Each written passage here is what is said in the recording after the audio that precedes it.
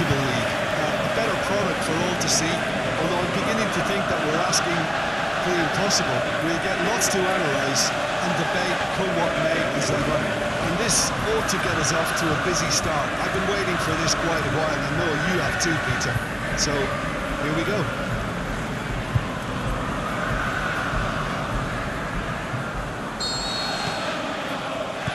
So off we go then.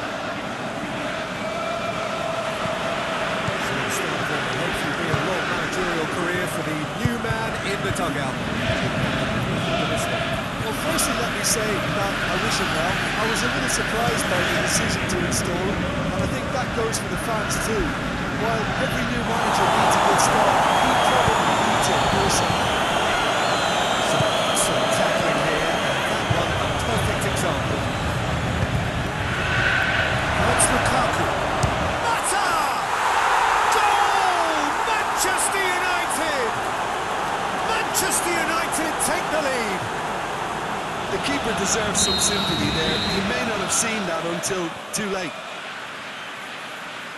Manchester United take the early advantage.